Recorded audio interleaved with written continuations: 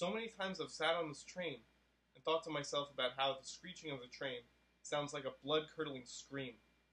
Honestly, it scares the shit out of me every time. I really ought to start bringing headphones so I can listen to music. And yet, I love to hear the train sounds and the things people say. Oh shit, the old man said. I left my phone at home. I left my wallet at home. I left my sense of self at home. I left my wife and kids in the parking lot. I left the only life that I once knew at home, and I'm never going to come back. I left my parents for dead with a vicious murderer who killed and ate them, and then he called me to tell me that my mother was especially delicious, but I never would have guessed because I'm not a cannibal. I left my horse in the stable, although that's where he belongs. I left my rights. I left my wrongs. I left my dignity in the last town I abandoned with my other wife and kids, who I will never see again because they aren't real. None of this is real. To me, I think. I left my ability to feel back in Susquehanna. I left my glasses at home, so now I can't see anything. Actually, I don't need glasses. I'm fully blind. What am I saying? I left my headphones at the beach. I hope they don't get destroyed in the rain.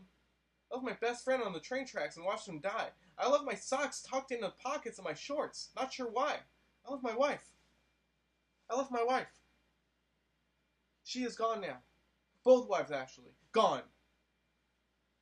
I left my finger on the button that makes the bad things come out at night. I left the house and then left my wife. I left my Twitter on Tinder for about a month now. Then again, it was just a joke. I left my sense of control in the room behind the house that isn't connected. I guess people call that a shed. I just took the chainsaw and started destroying everything because I just couldn't take it anymore.